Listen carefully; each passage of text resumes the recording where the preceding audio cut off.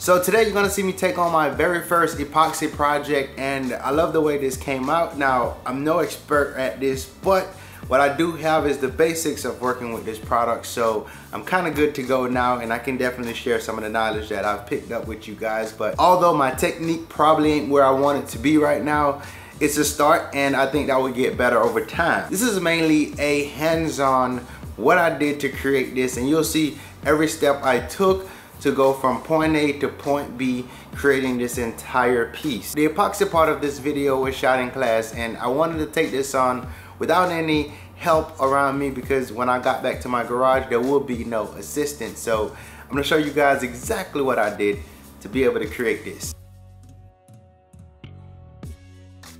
For each pour, you're gonna end up using two containers, a torch, and also some gloves. A plastic bin to elevate my work and I'm also going to use a piece of hardboard as the material. For the individual colors I'm going to use a few drinking cups.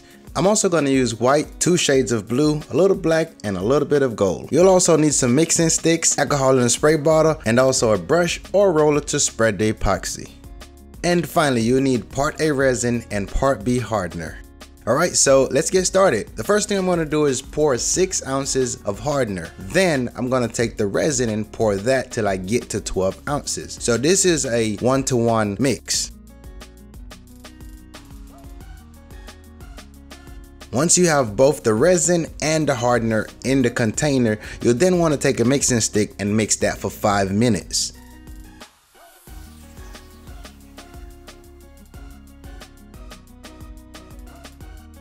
After 5 minutes of mixing, you're going to pour that mix into a new container. And the reason for transferring to a new container is so that everything get mixed equally. Now I'm going to add my base color which is white. Then I'll mix this for 4 minutes.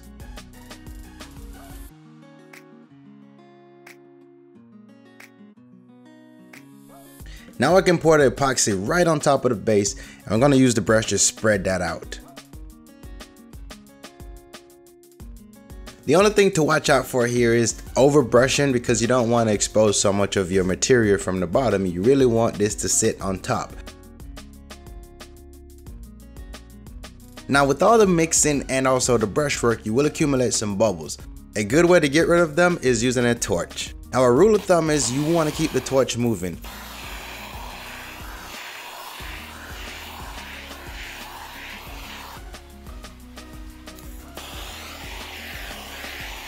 And with the base laid down, I'm gonna mix some color. Following the steps I made earlier, I made another 12 ounce of epoxy mix. Then I pour about 3 ounces of that into each cup approximately. I'll then add my color and then mix that for an additional 4 minutes. So you only need a little bit of color, but I got a little heavy with the mix there. For the color, I have a total of 3 shades of blue. You can totally use any color you want, just add it to your epoxy mix. And you can add color by using a powder mix or a liquid mix. Now you do have some working time with the epoxy so you will have enough time to mix all of these and you don't have to mix these a total of 4 minutes each. Around 4 to 5 minutes altogether should be fine.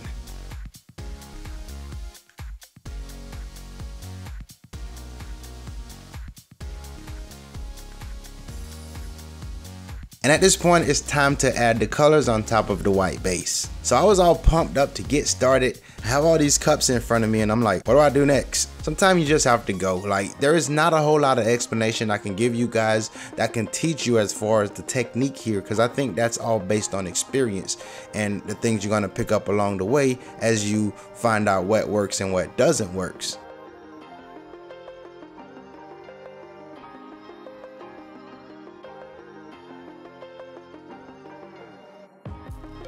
To simplify what I'm doing here, I'm laying layers of epoxy and then I'm spreading them out.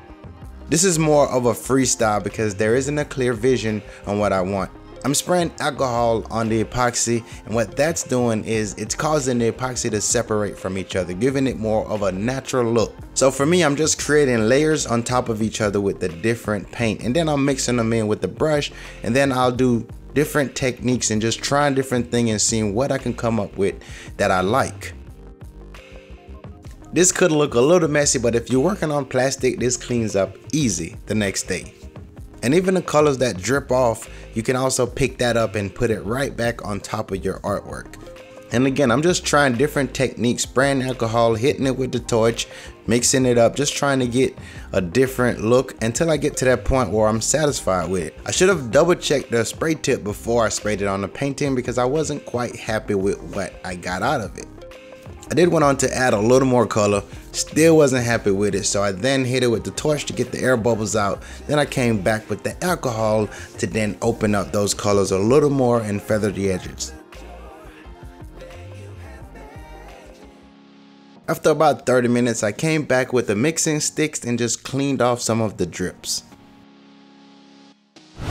For this build, I'm going to use a battery powered LEDs with a remote to keep things simple.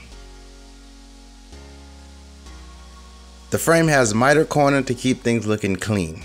So if you look at the end result, you'll notice that there's a separation from the art to the frame. So inside of the frame, there's a 3 quarter inch gap going around the entire thing. Behind the artwork, there's another frame that's elevating it. And this one is just a simple frame put together using pocket hole screws.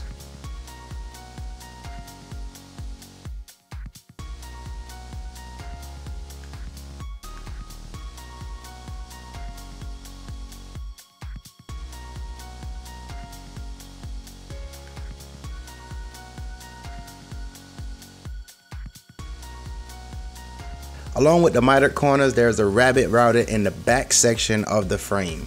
And with this routed out, I'll then be able to sit the plywood down inside of this and keep everything flush. So we did a quick dry fit to make sure everything fit before moving on to the next thing. And that looked pretty good, so now it's time to address the inside frame. So I'll remove the corner from the inside frame, that way the LED can sit well. Now is a good time to sand down everything and get ready to put it all together. Since this is going to be painted white, I'm going to use wood glue and nails to secure this together.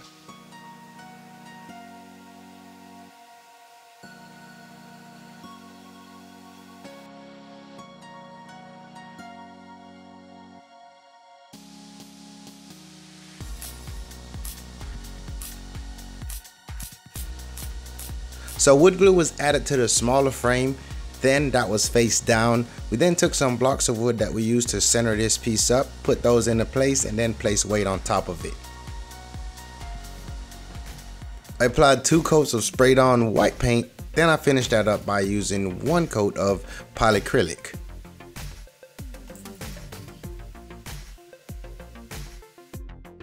So I need to wrap the frame on the inside with the LED. And one thing to keep in mind is the connector needs to land on the inside and long enough so that I can grab it and plug it and disconnect it from the battery pack. Once I determine how much I need, I then cut it off at the copper line. One thing to keep in mind if you're tackling an art frame like this is you don't want it in a dark spot. So don't cut the LED short or don't think that you're being wasteful by overlapping if you have to. These LEDs are peel and stick, so they have adhesive on the back, but it all depends on the brand you use. Some of these peel and stick work so much better than the others. In this case, the one I have didn't work out so great, but I was able to use some hot glue later on and just kind of touch up some of the areas so that it didn't peel off.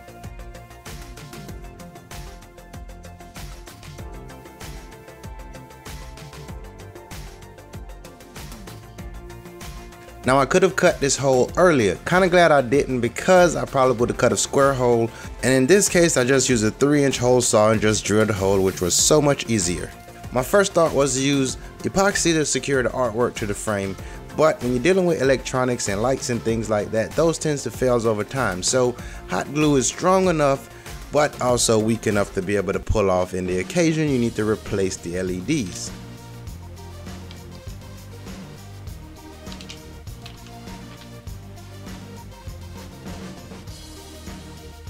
All you have to do now is just plug in that battery pack and you're basically ready to go. So at this point, yeah, that's just loose inside. I'm not gonna secure it because that just make it easier to replace the battery. And yes, there's a way to secure that. You can use Velcro or some other kind of adhesive that would be easier to just detach so you can swap the battery. So this remote is radio frequency. All you have to do is just press the button. As long as you're in the vicinity, you don't have to point at anything and that works great. You can just select your favorite color. I like the blue one, think that makes the most sense. And since this is a wall art, I have to add some hardware and I'm gonna keep it simple by using these sawtooth hardware.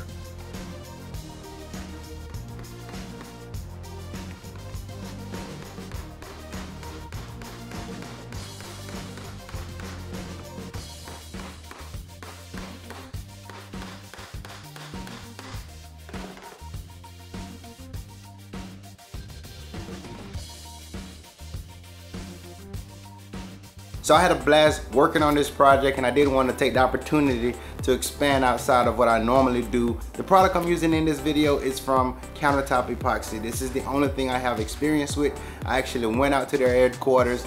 They were super nice and I got some hands-on training in the class that they were giving. And while I was there, I asked them if they could help me out since I'm gonna be using their product to, you know, give back to the audience. And they said, sure, they can give 10% off. And you can use DIY creators if you wanna check out countertopepoxy.com. I have a link down in the video description. Now, this is not a sponsored video by no mean. I just love what they're doing. And I wanted to recommend the product that I'm actually using. And that's about it for today. So go ahead and do that fun stuff, you know, like, comment, and don't forget to subscribe. If you want to see what I'm working on next, be sure that you check me out on Instagram, and that's instagram.com slash more DIY creators. I will catch you guys in the next one.